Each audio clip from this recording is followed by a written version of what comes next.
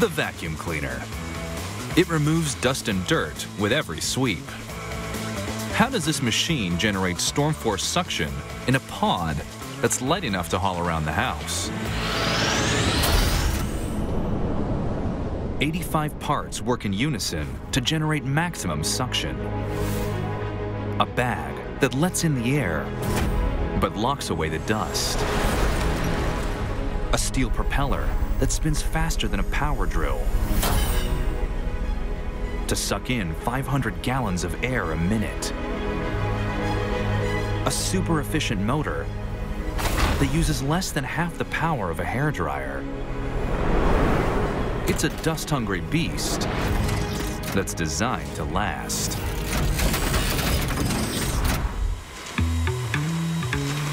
Together, these components create the vacuum's ferocious appetite. The body must be airtight for good suction, but also accessible to throw sucked up dust away.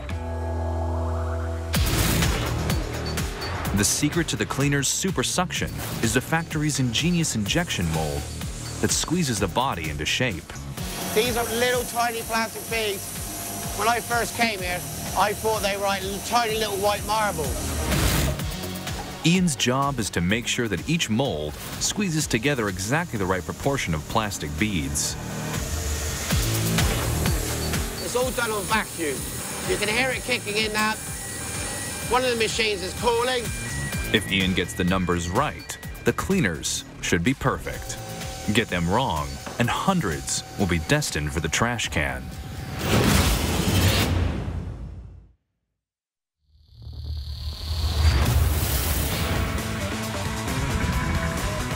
A vacuum cleaner needs an airtight drum to suck up dust. The secret is to make a plastic mold with a leak-free seal.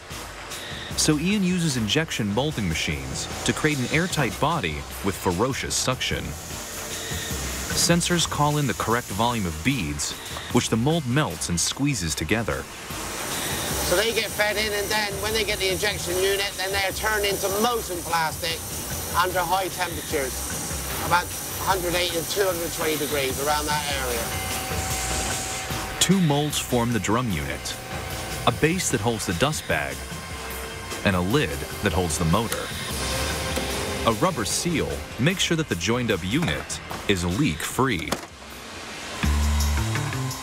The perfectly sealed body gives maximum suction. But what stops the motor from overheating inside it? This machine has a clever design to keep cool.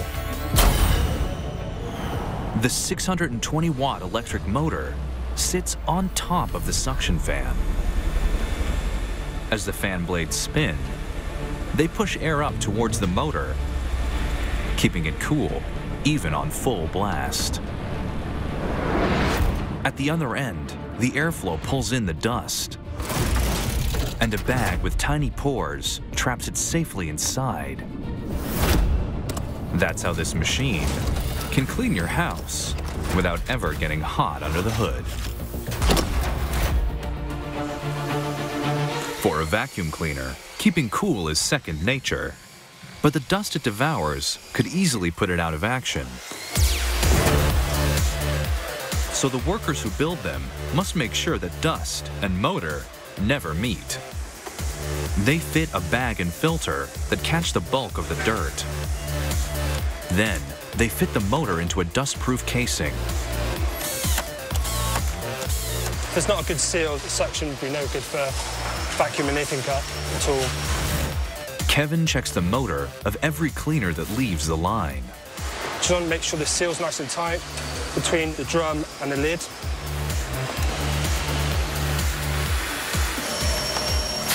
This cleaner sucks fine. The motor generates a constant 100 mile an hour stream of air that sucks dust up from hard floors. But on a thick pile carpet, even these hurricane force winds won't do the job. So how does the cleaner suck up dust that's ground deep into a woolen pile? Hidden inside the brush head, this machine has a secret weapon. A small turbine whirling in the airflow. A rubber drive belt connects it to a spiral brush whose bristles kick up even stubborn dust. This turbo brush head spins 5,000 times a minute to give maximum cleaning power.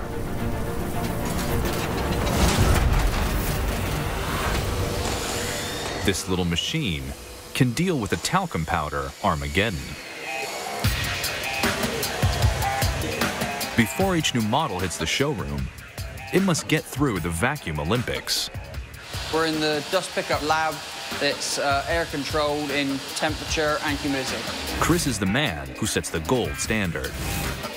He spins the cleaners by their cables and stretches their hoses in this $700,000 vacuum testing facility. The next challenge is to suck up as much dust as possible from this test carpet.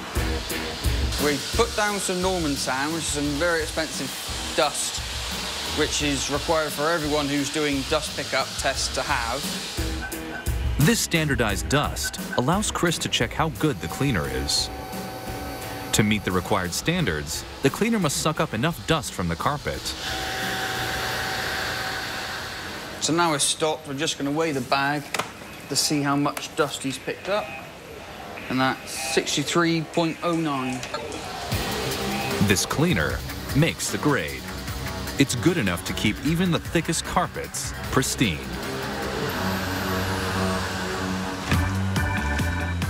Millions of vacuum cleaners are sold globally each year. They eat up millions of tons of dust and make living rooms the world over just that little bit nicer.